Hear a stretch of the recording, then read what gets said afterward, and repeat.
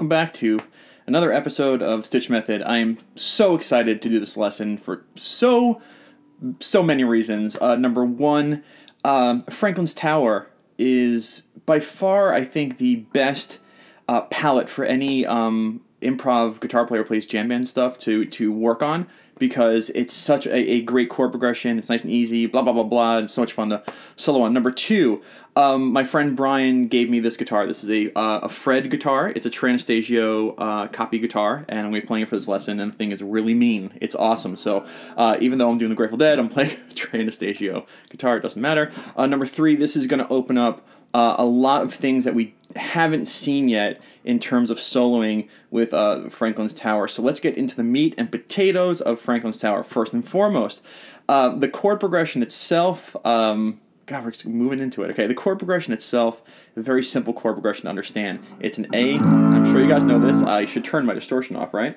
That'd be good. Uh, it's an A major uh, to a G, and then to a D, back to a G in some sort of fashion like this, like.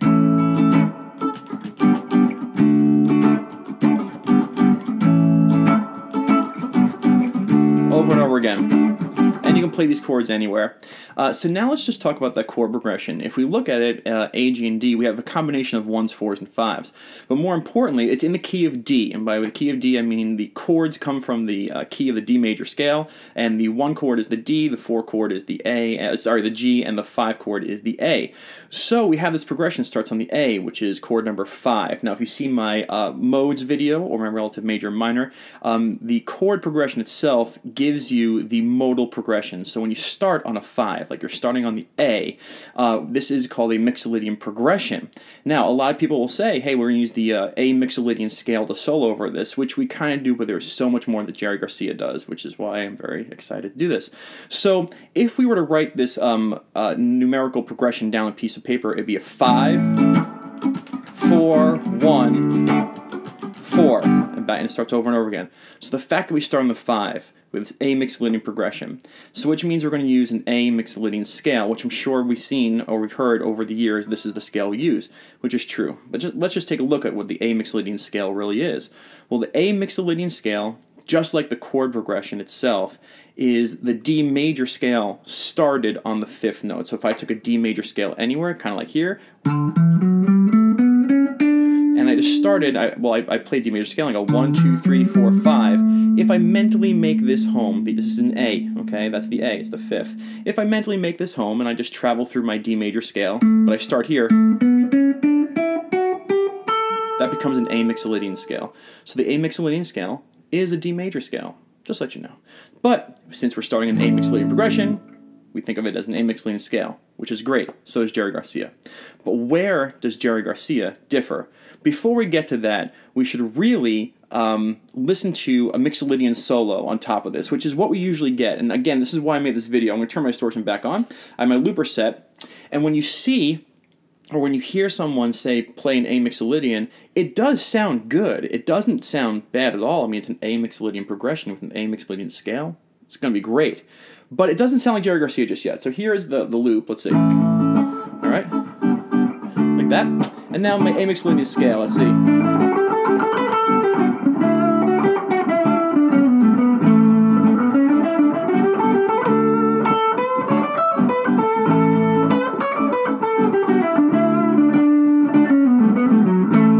I mean, it sounds great. And everyone does this. We go up and down the neck. We go all the way up and down the neck with A Mixolydian, and it sounds good. But when we hear Jerry Garcia do it, something else happens. So what is he doing? Well, before before this happens, I'm going to see if I can do this all in one take, which I probably can't because I wasn't prepared here. Is we're going to listen to together. Uh, I'll have my phone out. We're going to listen to Jerry Garcia solo, and I have a. Uh, I have a show here. It's uh, the Great American Music Hall, San Francisco. Uh, the date is August 13th, 1975, and um, it looks like it's a. Is it a Dick's Picks? Uh, it might be. No, it's not. Okay, so August 13th, 1975. And we're just going to listen to Jerry Garcia play a solo. Let's see. Okay, here it is. Okay. Here we go. Together, listen.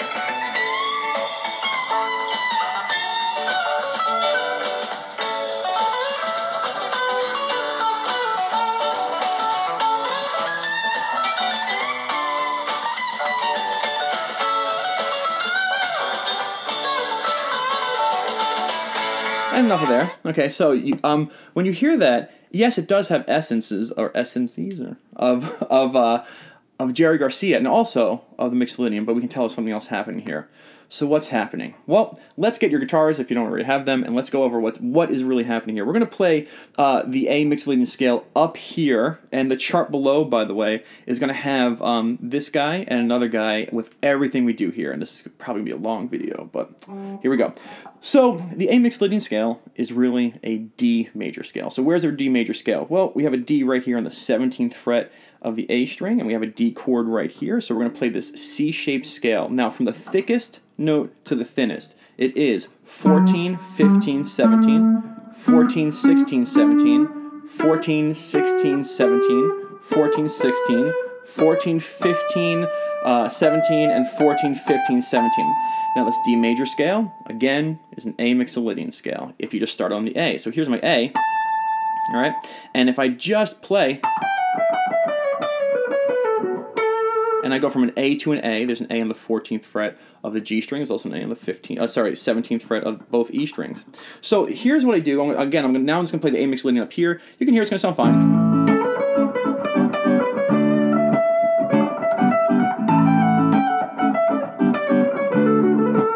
Okay, it sounds fine. And every time we play Mixolydian again, it sounds absolutely fine. If I just turn my, my looper off, there it is. Okay. So, uh, if we play our A Mixolydian scale, it sounds fine, but we can hear something else is happening. Well, what's happening? Well, you guys are going to listen to the song again, uh, what I just showed you. And But what we're listening for right now is the fact that Jerry Garcia is not playing necessarily just an A Mixolydian scale. He's playing with his chord tones too. And that's very, very important. And when you listen to the solo I played with you, we listened to together, we heard Jerry Garcia and we imagined him just flying in one linear line, right? Just one linear th- type of movement. But when we now when we play back, what's really happening is he's focusing on the chords. Now, yes, we do have a G chord that's stuck in the middle, but we have an A chord that pivots on the G chord and goes to the D, and that D pivots back from the G and goes to the A. The two pivotal moments in the song are the A and the D chord. Now, I want you to listen to the song again, and I want you to focus on the fact that Jerry Garcia is really changing or his phrasing around the chord tones. Now, to do this, I used a visual aid, and that visual aid is my wife and my, my cat Quinn, and don't worry, they actually both enjoyed it. Give a listen.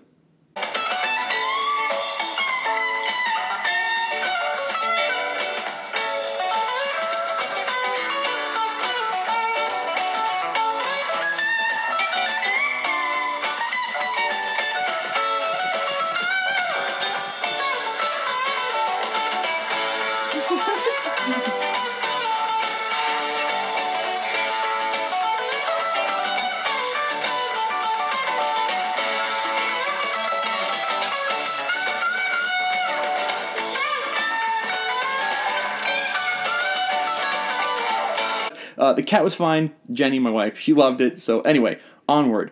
If you go need to go back, you heard what was happening was when the band was on the A, Jerry Garcia was highlighting the A moment. And then when he went to the D, he was highlighting the D moment. Yes, he's using the Mixolydian scale. So now how do we do that? Now this is just like part one of this part one. Hope you're enjoying it. All right, so the A chord is this G-shaped A chord here. I'm gonna use the thin end. So you put your first finger on the 12 on the 14th fret. You're gonna bar it right here, and you're gonna put your pinky up on the 17th fret. Now this is a G-shaped A chord. My root note is here, so this is A. Volume is always good. And then my D chord is that C shape I showed you here. Okay. So really, okay, we have the A going to the D. By the way, part two and part three of this video, which will be coming out later uh, in the month, um, are going to address his chord changing with the G chord, his pentatonics, everything.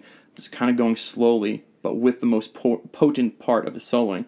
So we have the A chord here and the D chord here. All right, and now this D major scale slash A Mixolydian scale, however you want to see it, both have the chord tones for each one of these chords.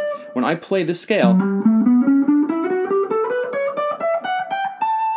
this has the chord tones for this, and it has the chord tones for this. So now listen as I solo, but now I pause or I start on a chord tone using the A Mixolydian scale because we need to, right? We already talked about that, but highlighting the chord tones. Let's give it a listen. And there's my A, there's my D. Here we go.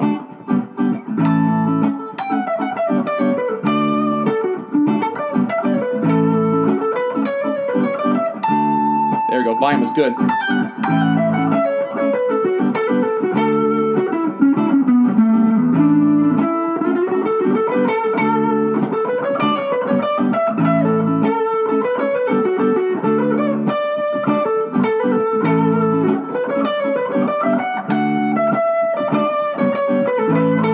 Screwed up there, but nonetheless, it's a good example.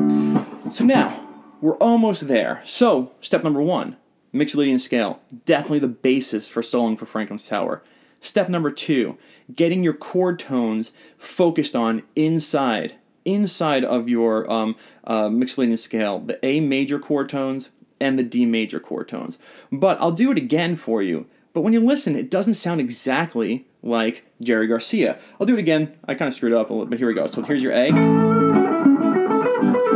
D, A,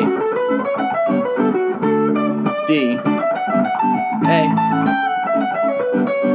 D, A, D. Good. Okay, that was a little bit better. So now, where is step number three, or Jerry's secret sauce? And this is why I wanted to do the lesson, because everything that um, is out there on the web pretty much addresses these things, except for this, I think. All right, Jerry Garcia was a bluegrass player, okay? He loved bluegrass. So, the sound of Jerry Garcia, in my opinion, are these executed moves that take him back to his bluegrass mindset. So, what do I mean by that?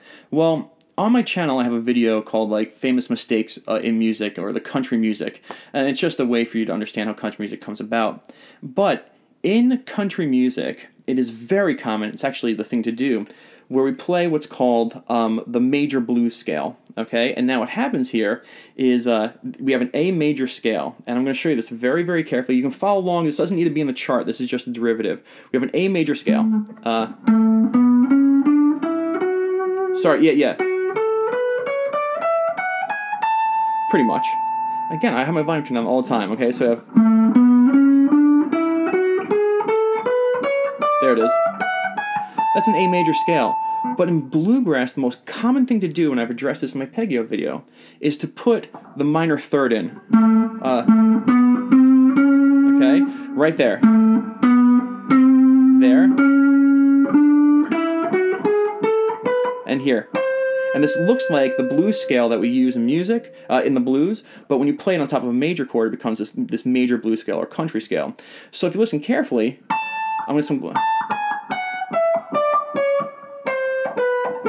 There it is right there. That minor third that doesn't belong in uh, a major chord, but in bluegrass, the sound of bluegrass and blues is that minor third on top of um, on, on top of the major chord progression. So where's this all going, Ian? I know. I'll show you. If you take that Mixolydian scale, the D Mixolydian, uh, uh, sorry, there it is, and you find your root note, I'm going to find this one, or my my Mixolydian root note. There it is. There's the A. If you listen, the minor third in the scale. There's the one. There's the two and there's your minor third. And this note is not in any of the scales that, that have been discussed. This note is in the blues scales, or a bluegrass scale, the minor third of the tonic or whatever note you're going to. So now just listen to when on the A, on the A now, I'm going to play the chord tones, but I'm also going to play the minor third, which is a bluegrass trick, which is what Jerry Garcia grew up on. So now, here's the example of playing the Mixolydian with the minor third. Okay, or I can do it right, right? Here we go.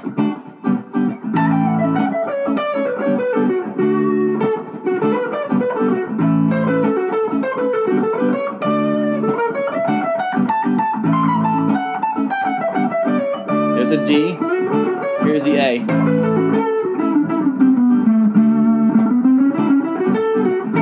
So now you can start to hear a little bit of Jerry, Jerry Garcia pop out.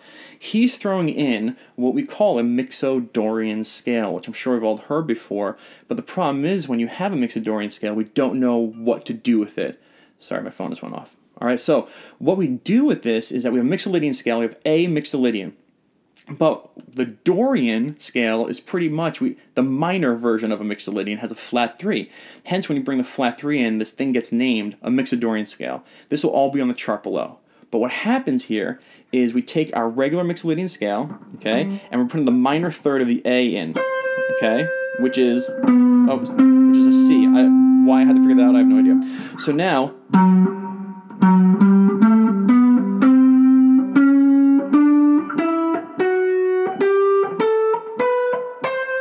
Okay? So the minor third is so important to Jerry Garcia's playing inside of this Mixolydian scale, but it doesn't stop here. Again, I hope you're enjoying this. Rewind this if you need to. Um, on the D chord itself, same thing. On the D, he's playing, really, it's still the D major scale, okay? But what happens here is he's focusing on the chord tones of the D. But here's my D here, and here is the minor third to the D major chord. Again, the bluegrass sound. So when he's on the A, he's focusing on his A Mixolydian scale. He's throwing in the minor third, which is the, the bluegrass scale that he was so used to.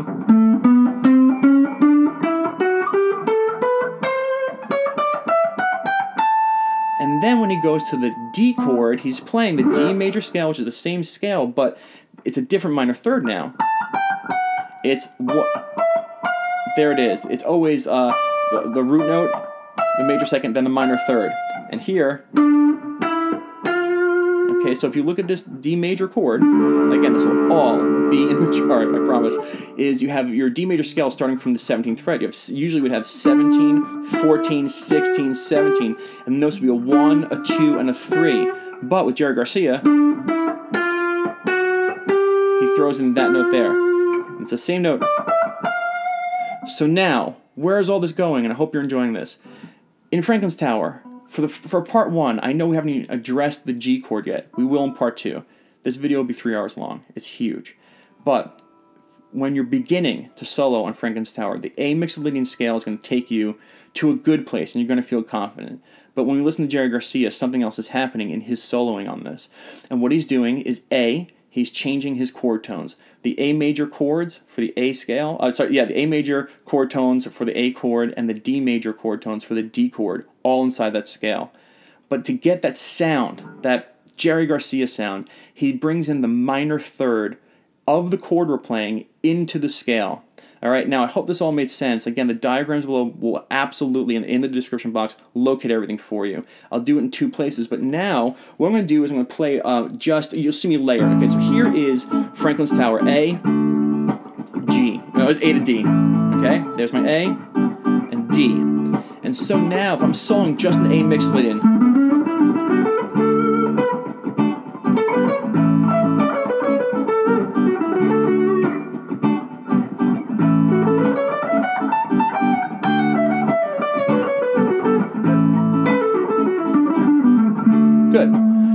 focus on the chord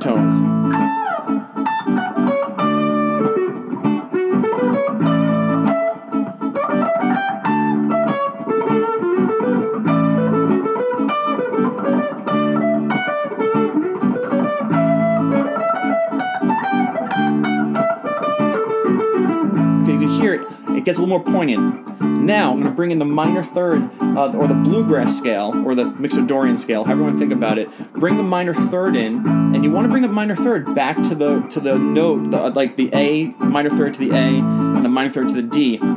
You get this really good Jerry Garcia sound. Let's see. Let's see.